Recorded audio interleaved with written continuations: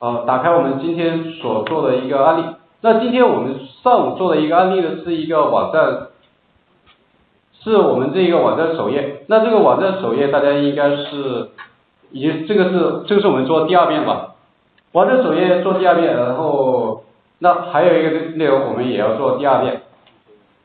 所以第一天没来听也没有关系，那今天听了就可以了。早知道第一天就跑路回家了，对不对？啊？早知道我也想第一天就跑路回家了。那看一下我们的这个，我们一会儿要做的一个案例是怎样的一个案例？就是我们的这个注册页面，实际上在我们这个第一天做出来的这一个案例，实际上已经是比较比较好看了吧？那我们接下来是要继续把这个案例重新用我们今天所学的 CSS 加 div 去再做一遍。那这一个东西呢，它的一个问题实际上跟我们早上是一样的，它是实际上也是存在于早上所讲的那一个缺陷。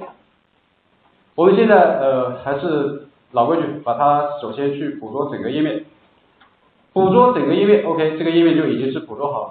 捕捉好之后，我复呃复制一下，然后在我们的这个截图工具中，我们去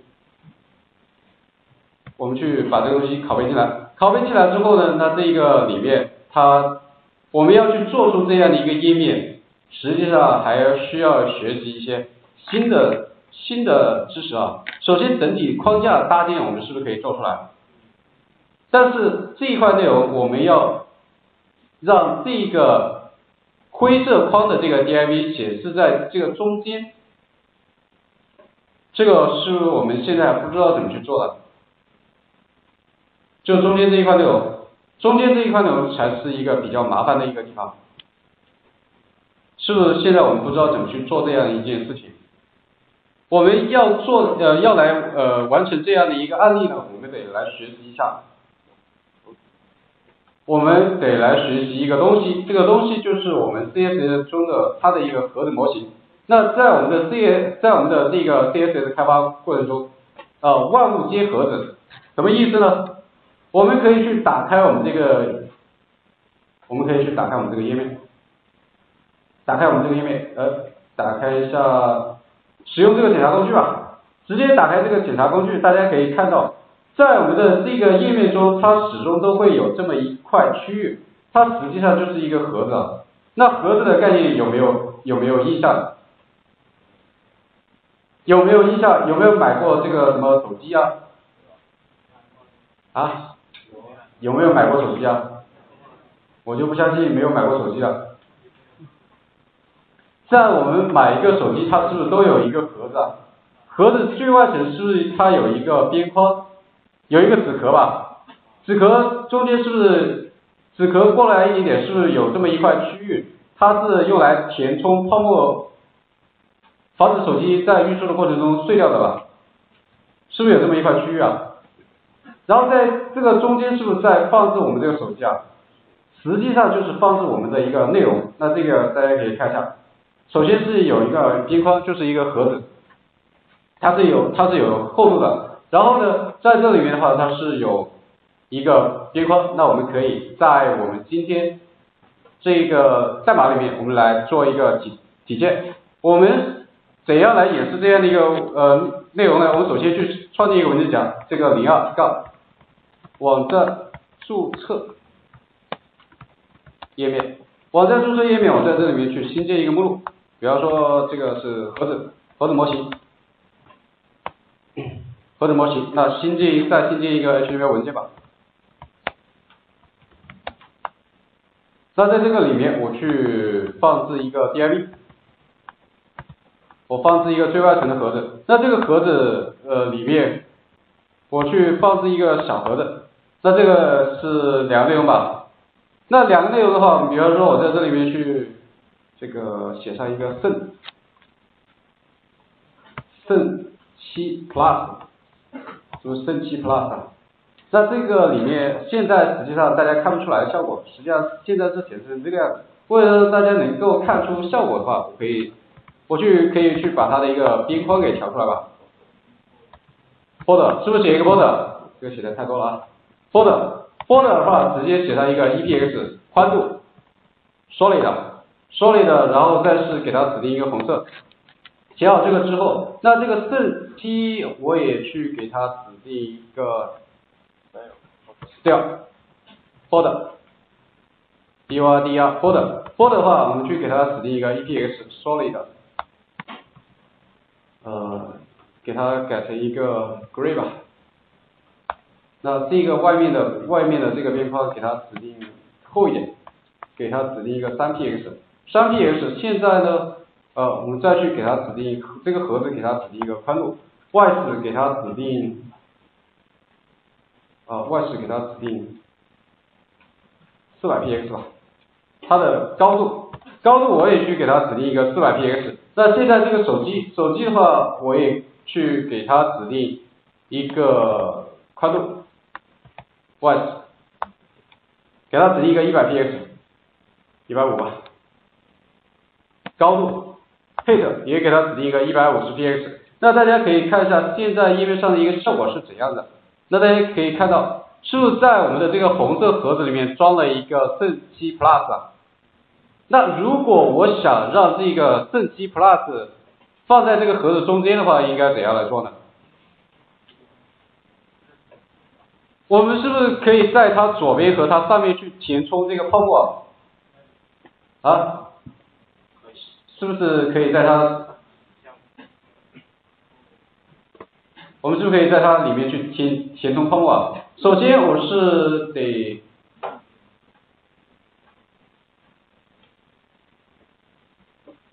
首先我得把这个鼠标点上去。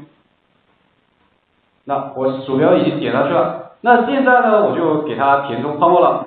那我填充泡沫，哎，是不距离上面有些距离了？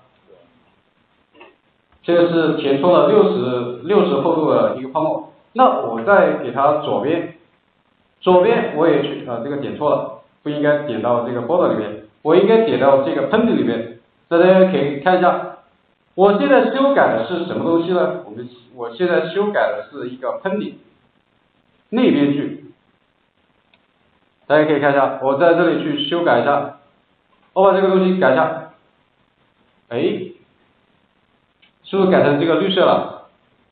这个盒子模型呃能理解吗？讲到这里，实际上已经把盒子模型它的一个内边距已经讲了，这里能懂吗？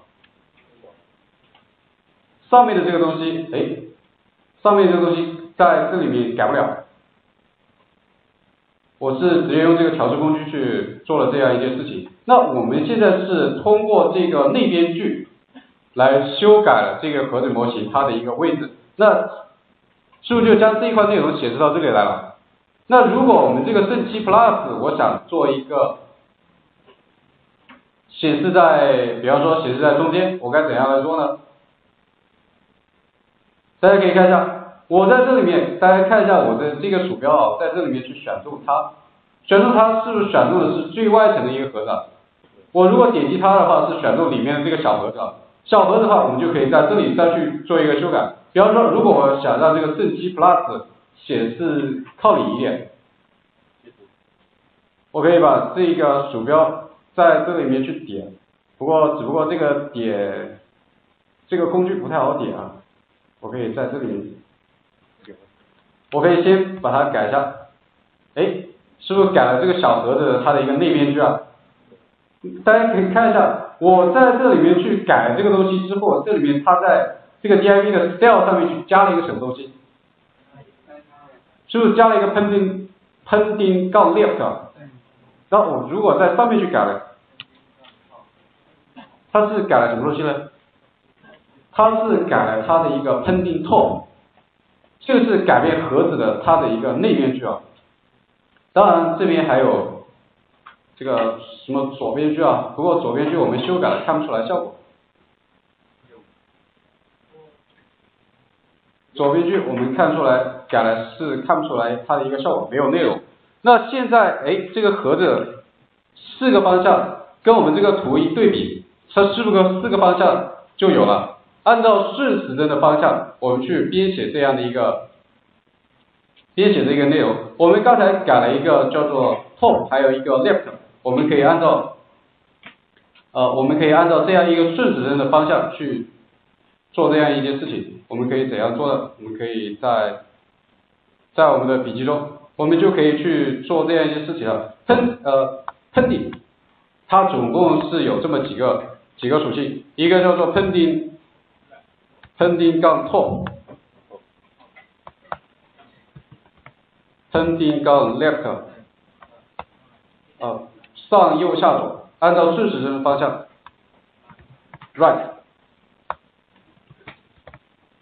，right，pending 杠叫做 bottom，pending 杠 left，这个是上右下左的一个顺序，就是在我们这个图片上看出来的效果就是。上、右、下、左，我们可以再用这个开发工具来看。刚才我们是改了它的一个 left，还有它的这个 right 改了，效果没有出来，那我们直接是，哦，这个这个不对啊，是在这里面去改。哎，再来看一下，那大家看一下，是不是又多了一个东西出来？这个是不是改了它的一个右边的一个边距啊？然后再改一下这个，看一下这个，是不是又多了一个东西啊？叫 pending bottom。现在四个方向有没有看出它的一个效果？这是盒子模型它的一个内边距。那有内边距的话，是不是应该有外边距啊？是不是应该有这个外边距？要来演示这个外边距的话，那我们呃通常我们最好还是，呃我们再来写一个再来写一个 div，要来演示这个外边距，我们可以在这里面，哎这个是改个华为吧，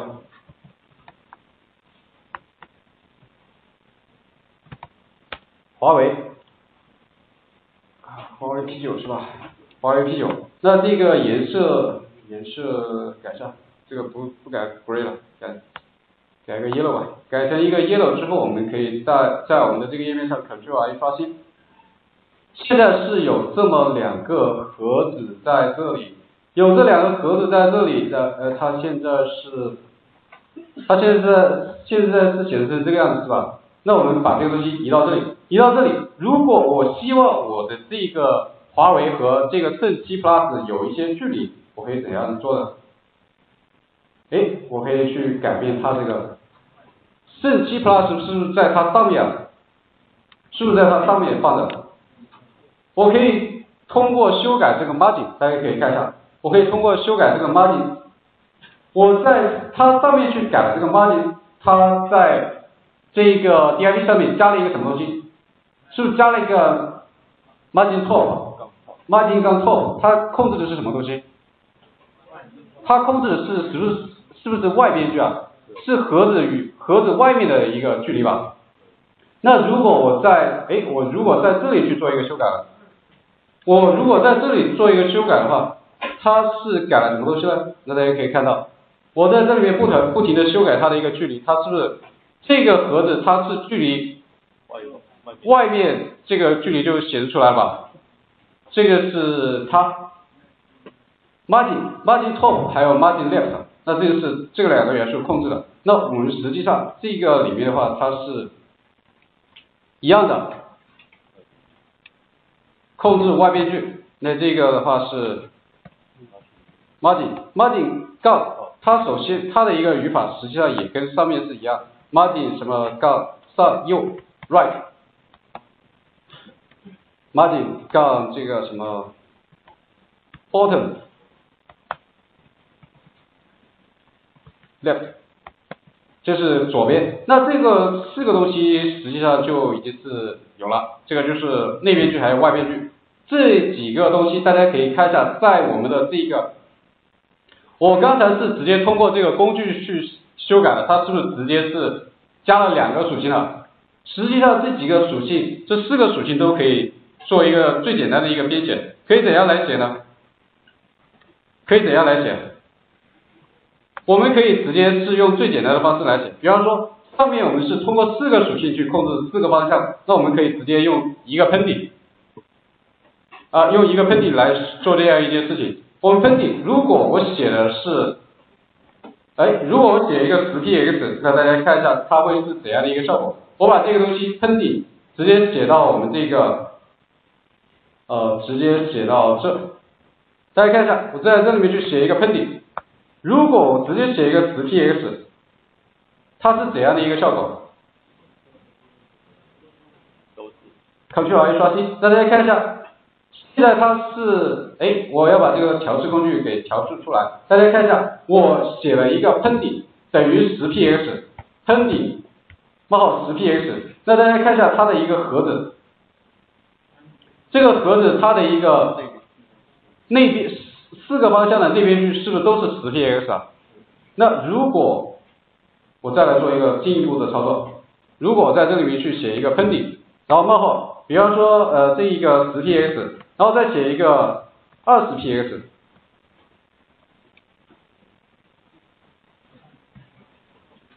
我把这个东西呃拷贝到呃这个改成一个二十 px，再写一个二十 px，对不对？写好之后，我们 Ctrl A 刷新，看出效果了没有？如果我写了两个东西，如果我写了两个属性，它现在是怎样的一个效果？这个是上下左右都是十 px，然后这个是上下。十 px，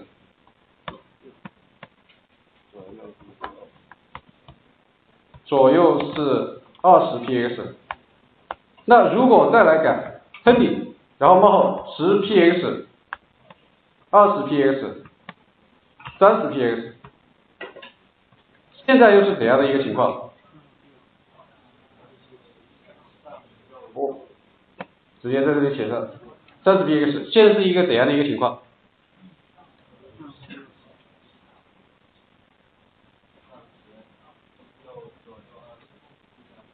我们还是直接用这个来看吧，Ctrl A 刷新。